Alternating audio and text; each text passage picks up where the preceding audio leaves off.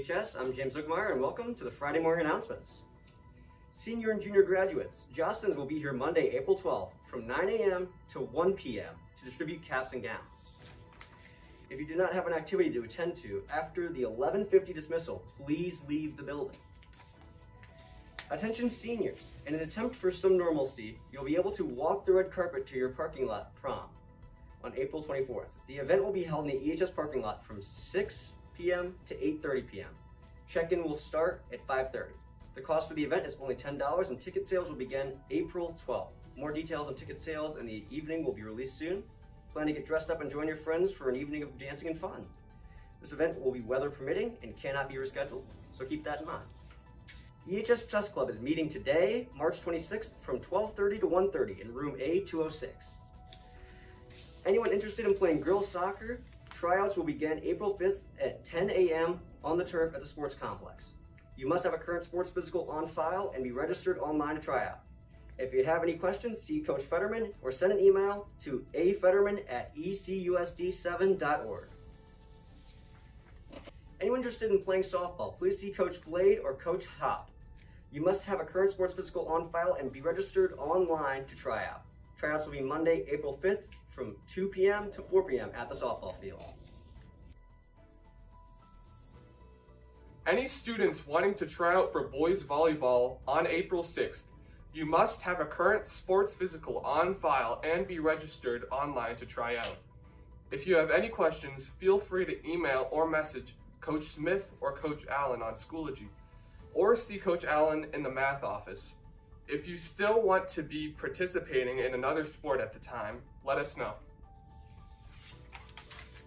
Students, be aware of the dress code laid out in the handbook as the weather is turning warmer. If you have any questions about whether or not an item of clothing is appropriate, please see an administrator for clarification. Consequences can be assigned for students in violation of the dress code. The Mental Health Awareness Club is having their next meeting on March 24th at 2 p.m. via Zoom. Everybody is welcome. Please join our Schoology group or email Miss Quinn at tquinn at ecusd7.org for the Zoom link. Hope to see you there. Do you enjoy creating poetry, prose, or art? Would you like your piece in this year's online volume of Edwardsville High School Literature Mag? If so, send your submissions to thelitmagehs at gmail.com by March 31st for a chance to be featured in our publication. Juniors and seniors, interested in making up to $150? If you have a grade point average between 3.0 and 4.0 and are able to show proof of U.S. citizenship by Election Day, Tuesday, April 6, 2021, you can apply to be an election judge. On Election Day, you will work from 5.30 a.m. until all duties are completed after the close of polling place. You will qualify for up to $150 for working as an election judge. You will also receive credit for school attendance while working. You may get forms from Ms. Shaw in the main office.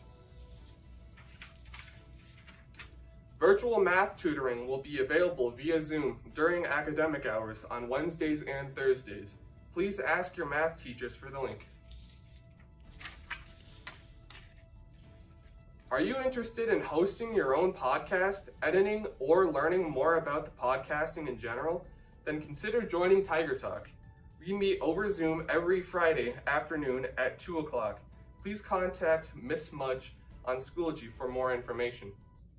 And that's it, EHS. Have a great day and an even greater spring break. That was awesome.